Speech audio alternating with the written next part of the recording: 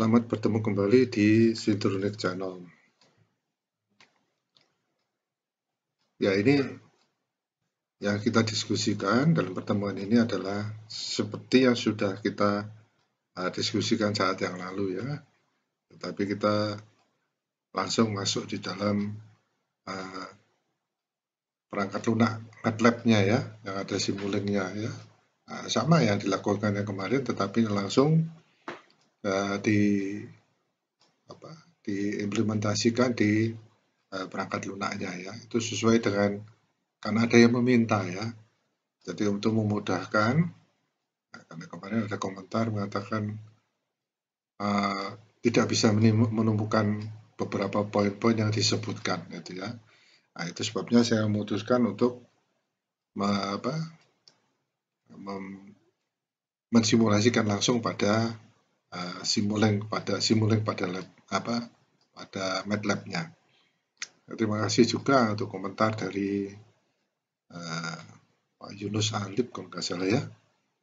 Uh, karena begitu banyak posting yang kelihatannya berantakan ya, artinya berantakan karena saya melakukan posting ini sesuai dengan uh, pertanyaan yang diberikan ya. Begitu banyak yang ingin saya posting ya, ada ada yang hidrolik, pneumatik, ya.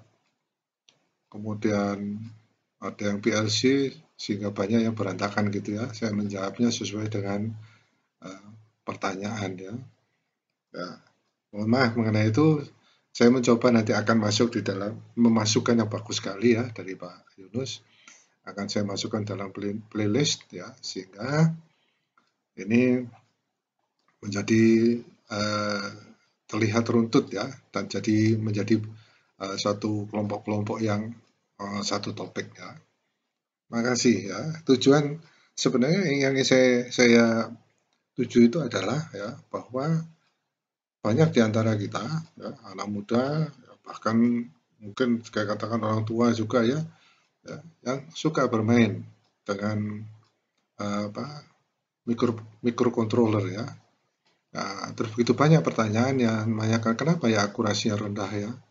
Mengapa kadang-kadang uh, apa uh, hasilnya uh, kurang memuaskan dan sebagainya. Dan kita lihat ilmu-ilmu itu ya mengenai misalnya microcontroller ya yang uh, yang sangat-sangat itu ya misalkan Arduino segala macam itu menarik sekali ya. Ya, tetapi kadang-kadang akurasinya masih terlalu rendah ya karena kita tidak ada beberapa ilmu yang kita abaikan seperti misalnya sistem kendali. Ya, ya saya sedikit komentar ini ya mungkin menjadi masukan ya. Ini contohnya sekarang ya begitu banyak alat-alat kedokteran yang kita membelinya dari luar negeri ya padahal uh, kita melihat anak bangsa Indonesia ini uh, pinter-pinter ya idenya luar biasa ya itu saya makanya saya ingin menyumbang sedikit mengenai kira-kira bagaimana ya menyusun sistem apa apa sistem kendali ya, akurasinya ya kalau dia menjadi suatu alat. Ya, nanti mungkin dalam pertemuan mendatang akan saya sebutkan beberapa gitu ya beberapa peralatan yang mungkin akan menginspirasi menginspirasi anda. Contohnya pacu jantung Terus kemudian sekarang lagi topnya lagi oximeter. Kemudian kalau kita ingin membuat sebuah misalnya sebuah uh, apa, peralatan untuk uh, mengukur tekanan darah gitu ya, yang praktis bagaimana, bagaimana cara kerjanya. Ya. Nah akurasi itu uh, munculnya akan di sistem kendali ini. Nah, itu sepintas ya. Terima kasih untuk masukannya. Nah, maka sekarang saya akan mencoba uh, memperagakannya langsung di Simuling ya, permasalahan yang didiskusikan pada saat yang lalu ya. Jadi ini adalah suatu apa, simulasi yang sederhana ya, tet tetapi menarik. Ya. Anda mungkin bisa mengembangkan sendiri. Nah, nanti bagaimana uh, apa yang Anda ingin lakukan. Ya. Nah ini yang bisa Anda lakukan nanti kalau uh, Simulink ini sudah sudah Anda kuasai, beberapa sistem kendali yang telah kita diskusikan itu kan muncul persamaan-persamaannya ya. khususnya yang untuk uh, transfer functionnya ya untuk fungsi alihnya itu bisa kita langsung masukkan di sini dan kita bisa melihat responnya ya. kita melihat berapa kecepatannya ya kapan dia masih bersifat transient tapi kapan dia sudah stabil. Nah itu nanti menentukan akurasi ya. misalkan sebuah alat dia baru stabil setelah misalnya satu detik gitu ya. Jangan ambil data itu di bawah satu detik ya. Apalagi kalau data itu diambil uh, terus menerus ya. Ambil waktu di mana dia kira-kira data itu sudah stabil ya. Kalau data itu sudah stabil saya yakin bahwa uh, apa tidak terjadi loncatan data ya, ya kadang-kadang datanya rendah kadang-kadang tinggi. Baik saya segera mulai aja. Pertama anda klik ya kebetulan di di anu saya di komputer saya yang disebut dengan apa MATLAB ini ya. Itu sudah ada lambangnya di bawah ini ya. ya saya tinggal klik di sini. Nah masuklah. Ini kalau kita sudah mulai masuk dalam MATLAB keluarlah lambang ini ya dia akan memulai masuk ke dalam uh, softwarenya ya nah ini adalah Windows ya atau jendela yang pertama kita uh, hadapi pada waktu kita sudah melakukan uh, aktivasi ya atau sudah klik uh, yang disebut dengan MATLAB. Ya. Nah, MATLAB sendiri sebenarnya banyak ya, banyak anu apa kegunaannya ya. Kalau kita mau mungkin ya, saya tidak berjanji ya terlalu banyak ya kalau saya posting itu sehingga berantakan. Ya maaf untuk itu. Dan waktu saya juga memang terbatas. Saya sudah setiap hari posting ya tetapi masih ada banyak anu ya kekurangannya ya. Ini ada yang sudah teriak-teriak ini bagaimana Pak ini mengenai apa uh, pneumatiknya kok tidak dilanjutkan gitu ya sabar ya saya ingin tuntaskan yang ini dulu ya supaya tidak terputus-putus nah kita lihat dengan ada Windows di depan kita ya kita perhatikan di sini Ya, ini adalah yang di, akan kita manfaatkan. Ya, begitu banyak di sini ya yang bisa kita lakukan. Tetapi yang ingin saya bahas karena berhubungan dengan sistem kendali adalah simulink ini. Ya, simulation, simulasi. Ya. Nah, kita klik ya, simulink. Ya. Ini inisialisasi, inisial, inis, ya, dia akan masuk di dalam simulink. Kita lihat di sini ya, dia sudah ready. Ya, begitu ready artinya kita sudah masuk dalam simulink. Ya. Langsung kita masuk aja di uh, di blank model ya. Jadi ini adalah uh, kita ingin merancang. Ya. Terus cara langkahnya langkah pertama muncullah sebelah window, ya, sebuah jendela yang di sini adalah untuk uh, apa uh, menyusun ya kita menyusun uh, blok-blok kita ya, yang yang ingin kita simulasikan. Pertama kita ke tools ya.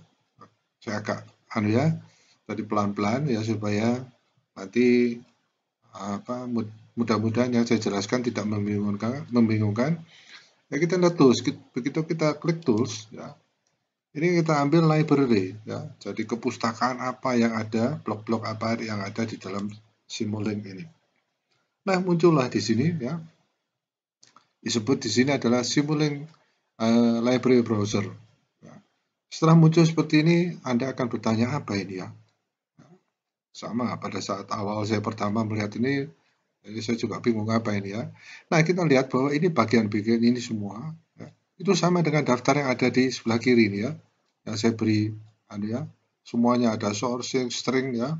Itu semua ada ada string sources dan sebagainya. Nah ini semua adalah blok-blok yang kita bisa manfaatkan. Nah, contohnya uh, ini ya commonly used blocks ya. Ini blok-blok yang umumnya dipakai. Nah, seperti contohnya ini ya ada sum. ya, sum ini ya ada ingat ya lingkaran dengan ada ada apa tanda silangnya ya untuk masukkan masukkan dari uh, input hmm, apa sistem kendalinya sendiri dan juga ada yang di bawah ini ada untuk feedbacknya Ya, yang kanan ada keluarannya, itu lambangnya. Nanti akan kita diskusikan khusus mengenai ini. Ya, ini adalah masukannya, kemudian ini ada keluarannya dan sebagainya. Ya, ada banyak di sini ya. Misalnya contohnya kita sudah berdiskusi mengenai PID, ada PID langsung. Ya, atau kita ingin uh, derivatifnya sendiri, ya. Jadi uh, ini adalah apa?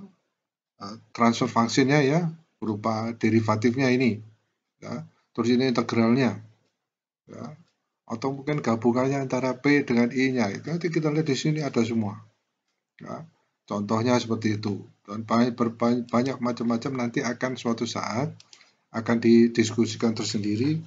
Kalau Anda ingin mendalami mengenai simuling ya, terutama pada waktu Anda nanti uh, apa uh, mensimulasikan hasil Ya, jadi hasil sistem kendali Anda ya, yang, yang tentunya berdasarkan kajian yang Anda bayangkan terjadi, bayangkan terjadi di dalam blok sistem kendali Anda, gitu ya. Ada feedbacknya, ada noise-nya, ya, dan sebagainya. Hanya untuk mengingatkan kembali ya, untuk review. Nah, yang akan kita pakai di sini seperti kemarin pada waktu diskusi sebelumnya, ya, yang saya pakai adalah yang ini scoop ya. Di sini scoop ini adalah oscilloscope ya. ya ini cara yang menarik ya. Tahan mouse-nya kemudian kita masukkan dalam jendela uh, simulasi dari Simulink. Nah, ini sudah masuk. Ya. Saya mau melanjutkan contoh yang kemarin supaya Anda tidak bingung ya. Ada yang suka dengan apa uh, presentasi saya yang kemarin ya yang kita diskusikan secara kemarin ada yang ingin langsung seperti ini ya.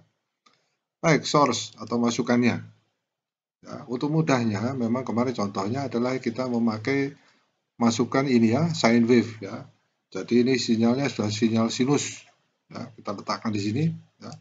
Sekali lagi itu caranya adalah dengan menekan mouse terus kemudian kita letakkan di uh, apa ini ya di jendela simulink ya untuk apa namanya simulasinya.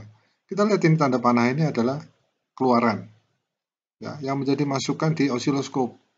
Nah, ini sederhana aja ya supaya Anda bisa membayangkan ya, seperti kemarin. Kira-kira bagaimana sih gitu ya.